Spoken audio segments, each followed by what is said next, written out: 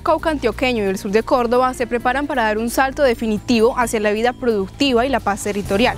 Esto ha involucrado el trabajo de muchas instituciones y organizaciones sociales y productivas que una década atrás empezaron a pensar en el cambio social. Vamos a recorrer la región para visitar dos actividades que aunque a simple vista no parecen tener relación, hacen parte fundamental de la paz territorial que impulsa el Estado colombiano y que en los últimos cinco años ha sido fortalecidas por la cooperación de USAID a través del programa Colombia Responde. Se trata de la producción cauchera y la apicultura, dos actividades cuyo éxito depende del trabajo conjunto y el compromiso de muchas personas y que más allá del negocio genera cultura y tejido social. La producción de caucho en esta región hace parte de una apuesta que hizo el gobierno nacional con algunos gremios productivos, la cooperación internacional y campesinos decididos a cambiar su realidad hace más de una década. El camino no ha sido fácil, principalmente debido a los tiempos que este cultivo tarda en crecer, en estar listo, a las condiciones de orden público, a la inestabilidad del mercado mundial y a la pobreza generalizada en la que han vivido las comunidades campesinas. Pero, a pesar de las limitaciones, la actividad cauchera desarrollada por pequeños productores ha logrado llegar a un punto en el que se ha convertido en el proyecto de vida de 1.660 familias y empieza a mover importantes recursos. Colombia responde a través de la filosofía de la paz silenciosa, impulsó desde 2012 a las organizaciones de caucheros que avanzaban con dificultad tratando de sostener sus cultivos. Se les fortaleció promoviendo la formación de las personas y se les ayudó a bajar la oferta institucional de ministerios y gobernaciones para dinamizar la actividad. Simultáneamente se financió la construcción y dotación de centros de acopio para mejorar la calidad del producto y la logística de las organizaciones de productores. Esto, articulado al modelo de las redes asociativas, ha facilitado el encadenamiento con el mercado nacional. La actividad cauchera en la región, específicamente en Bajo Cauca y sur de Córdoba, estaba en función de la parte productiva. Otros programas anteriormente con el gobierno de Colombia habían establecido cerca de 5.000 hectáreas de caucho en el territorio. Ese establecimiento de caucho impulsó la parte, la, el primer eslabón, que es el eslabón primario de la producción. En Colombia tenemos un vacío en la cadena productiva de caucho y es el procesamiento del caucho natural para volverlo una materia prima asequible al, a la industria manufacturera. Colombia Responde ha trabajado en ese punto, entonces lo que hace es impulsa, sigue manteniendo el área de producción y empieza a desarrollar relaciones comerciales con el, con el sector manufacturero. Lo primero que se hizo con el sector cauchero fue eh, empezar a generar nuevas siembras. Era cómo lograr combinar las siembras que ya tenían con nuevas hectáreas. El segundo aspecto fue trabajarle mucho a las organizaciones y era ayudarles desde el punto de vista de su gerencia, desde el punto de vista de su administración, desde el punto de vista de la capacidad de manejar los recursos, desde el punto de vista de participación comunitaria, eso era muy importante. El tercer aspecto fue dar el salto a que ellos entendieran que una parte muy importante era la comercialización. Y entonces se generan proyectos que ayudan a que tengan la infraestructura, la dotación, para que esas, eh, esos árboles de caucho empiecen a producir. Es necesario generar una empresa comercializadora que los centralice a todos. A partir de allí entonces el sector del caucho se organiza en la región, las organizaciones tienen su propia comercializadora y se les consigue un aliado comercial o unos aliados comerciales que les garanticen que todo lo que produzcan va a ser comprado.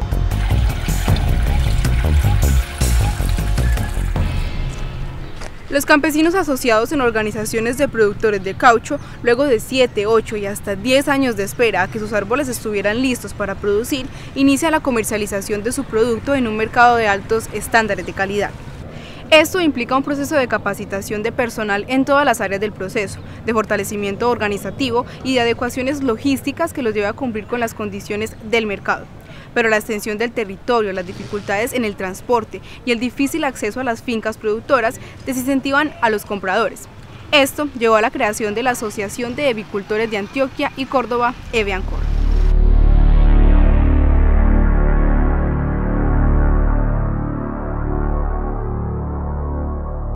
Estamos con Beatriz García, ella es la representante legal de la organización que abarca 16 organizaciones de caucheros del Bajo Cauca antioqueño y sur de Córdoba. Doña Beatriz, ¿cómo está? Muy bien, muchas gracias. Doña Beatriz, yo quiero que me cuente qué es Eveancor, de dónde sale la necesidad de crear esa entidad. Eveancor es una organización, como ya lo decía, de segundo nivel que agremia 16 organizaciones con alrededor de 1.600 familias. Eveancor nació por la necesidad de sentirnos y unificar voces, de sentir que teníamos un gremio que miraba nuestros propios objetivos, los mismos, las mismas necesidades del sector y que realmente Eveancor nos fortaleciera social, empresarial y, y cumpliera con todas las expectativas del sector cauchero. Bueno, doña Beatriz, yo quiero que me ayude a entender un poco acerca de cómo es el mercado en Colombia del caucho y cómo están preparadas esas organizaciones para enfrentarlo. Bueno, el mercado del caucho en Colombia es un mercado demandante, ya que sus demandas eh, requieren volúmenes requieren homogeneización y requieren estándares de calidad a través de centros de acopio y, laboratorios que hacen pruebas básicas, se están preparando en conocimientos de estandarización de procesos para brindarle al mercado nacional e internacional a futuro los requerimientos que éstas necesitan para los productos que ellos demandan. Rubercor es la empresa comercializadora que reúne todos los, el producto de todas las asociaciones productoras de caucho y lo pone en el mercado, en la industria nacional. Nosotros en el momento se están vendiendo aproximadamente unas, unas 20 toneladas de, de lates mensual y se están vendiendo por el otro lado también de 8 a 10 toneladas de coágulo. En el momento tenemos dos aliados comerciales, uno está en Medellín y otro está en Puerto Araujo, Santander. Esta alianza que tenemos con Colombia Responde y las asociaciones, eh, vamos, brindamos capacitación, eh, llevamos el insumo vital para, para estabilizar el látex, para que no se solidifique eh, le compramos el producto, hacemos la parte logística de traerlo desde un centro de acopio ubicado de acuerdo a la zona donde están los cultivadores y se los compramos y los traemos a nuestra planta de producción en Guarne, que es donde lo procesamos. Con esto reemplazamos el producto importado. Lo que es látex nacional, en el país se consumen aproximadamente 9 millones de toneladas de látex. El país hoy en día puede estar produciendo un 5% de eso. O sea que se abre el panorama para todo el Bajo Cauca. La intención de nosotros es trabajar con el Bajo Cauca.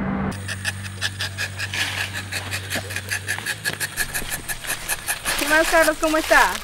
Buenos días, Manuela, ¿cómo has pasado? Cuénteme. Muy bien, gracias a Dios. Estamos con Carlos Montoya, él es el representante legal de APAM. Venga, don Carlos, cuénteme qué es APAM, qué significa APAM. APAM es la Asociación de Productores Agropecuarios de Montelíbano, como bien le dije, que encierra esos 115 productores y donde le está dando la fortaleza que el programa Colombia Responde nos benefició con tres proyectos eh, en temas de alianzas y de fortalecimiento para esas familias campesinas. Bueno, Carlos, hablemos un poquito del proceso. ¿Ustedes cómo, cómo es el proceso con los productores? ¿Ustedes recogen? ¿Cómo es? El compromiso que tenemos con nuestros productores, nosotros les recogemos eh, en, la parcela, de la parcela lo llevamos al centro de acopio, del centro de acopio va a Rubercor con su logística, lo recibe y ahí sí lo lleva y lo entrega a la empresa que ellos están comercializando. Don Carlos, ¿qué tiene hoy APAM que hace cinco años no tenía? Tenemos centro de acopio, tenemos las instalaciones del agronegocio, tenemos nuestra casa de reunión, tenemos el laboratorio, que eso no lo teníamos. Hoy en día tenemos caucho establecido en etapa de producción, o produciendo mejor dicho, porque nosotros ya estamos comercializando.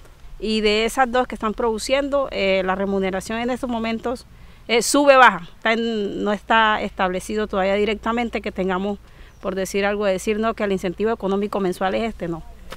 Eh, la, la, estadística que han hecho y lo que nos han enseñado que son 30 años dando producción y apenas dando producción van 3 años porque se tiene mucho por delante, mucho futuro. Beatriz, y cuéntame un poco acerca de la Escuela de Formación Ascavias. Un proyecto donde integralmente eh, se consolidaban todos los conceptos de rayado y tener un producto de calidad que pudieran sacar los productores de, las diferentes organizaciones. Hay laboratorios para que puedan hacer prácticas de laboratorio y saquen unos productos como debe ser los requerimientos del mercado, pero aparte de eso van a tener la plantación a disposición para poder hacer prácticas de rayado para el beneficio de las plantaciones de cada uno.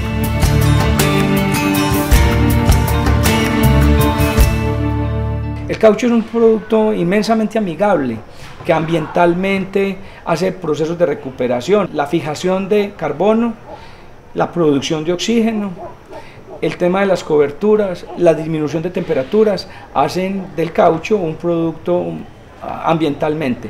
Socialmente eh, es un generador de ingresos, es un desarrollo económico y genera estabilidad en las familias que reciben eh, los salarios provenientes de estas actividades de rayado. Beatriz, entiendo que la deforestación es uno de los factores causantes del calentamiento global, ¿cierto? Entonces, ¿de qué manera mitiga estas 6.000 hectáreas de caucho ese daño que se causa a la deforestación? Bueno, cuando inicialmente pensamos sembrar caucho, no pensábamos que esto fuera tan favorable para la mitigación del, cambio climático. O sea, vemos que en este momento la captura de carbono que, tienen estos árboles es impresionante y está contribuyendo, nuestro esfuerzo está contribuyendo con granito de arena para que el cambio climático sea más favorable. Hemos visto que la apicultura es muy amigable con el árbol de caucho porque las abejitas, el, azúcar que botan eh, estos árboles es muy apetecible para las abejas y en este momento organizaciones como ejemplo como Ascavia están iniciando procesos con apicultura que son muy amigables con el medio ambiente y con los cultivos de caucho.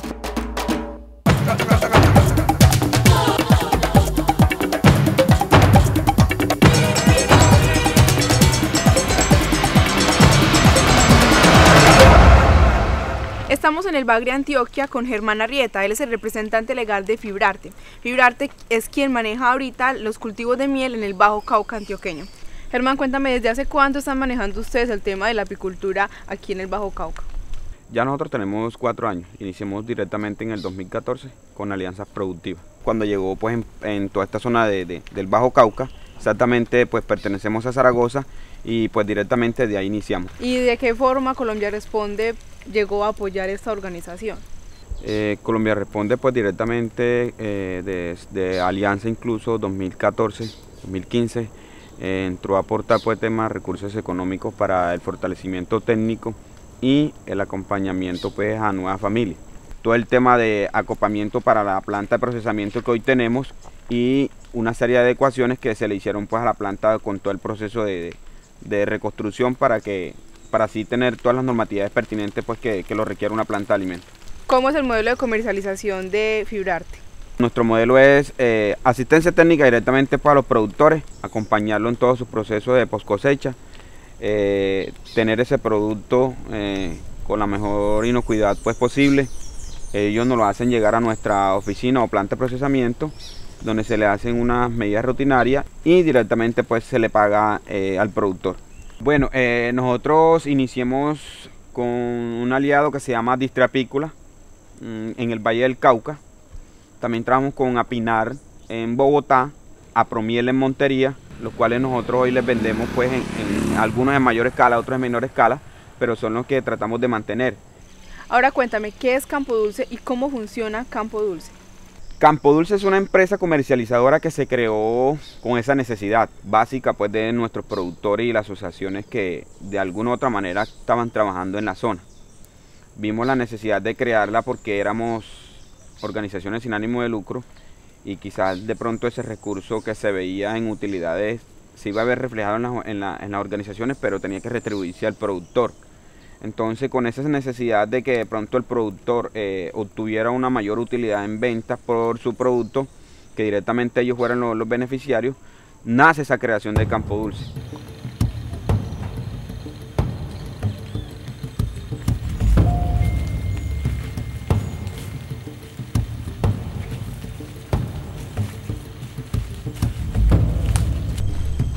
La apicultura es una actividad cuyos beneficios no son económicos, aunque hay gente que vive de ella. En la región del Bajo Cauca antioqueño fue una apuesta del Estado colombiano por la recuperación ambiental y social de territorios afectados por la minería y los cultivos ilícitos, y que se ha convertido con mucho esfuerzo en la fuente de ingresos de más de 400 familias. El modelo de Colombia Responde ha ayudado a impulsar la actividad apícola desde 2014 fortaleciendo la organización Fibrarte, una asociación de artesanos de la etnia Zenú que sirvió de plataforma para agremiar a 45 campesinos apicultores y que hoy soporta y asesora a 400.